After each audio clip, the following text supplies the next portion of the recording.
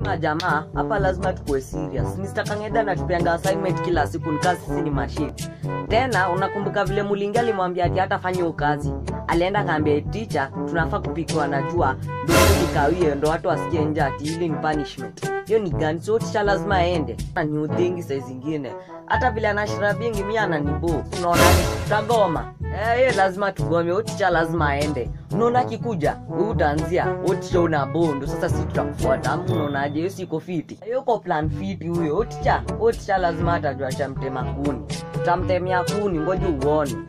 Tutamtemea kuni. We, cheza chini na Kiswahili yako. Yale aliwafunze hivyo.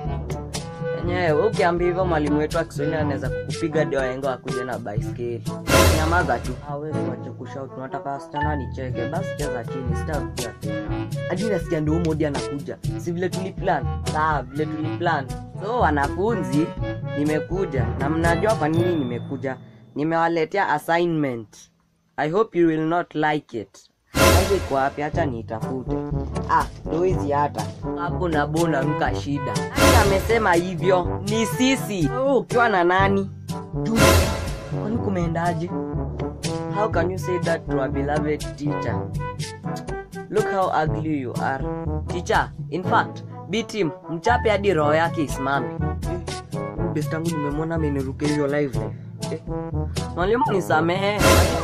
Sasa ndio unajua kuomba msamaha.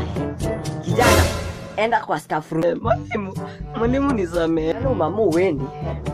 Ki- kijana Kijana, mwambie Mwalimu mtandika hadi ajipata niita mama mboga suidi.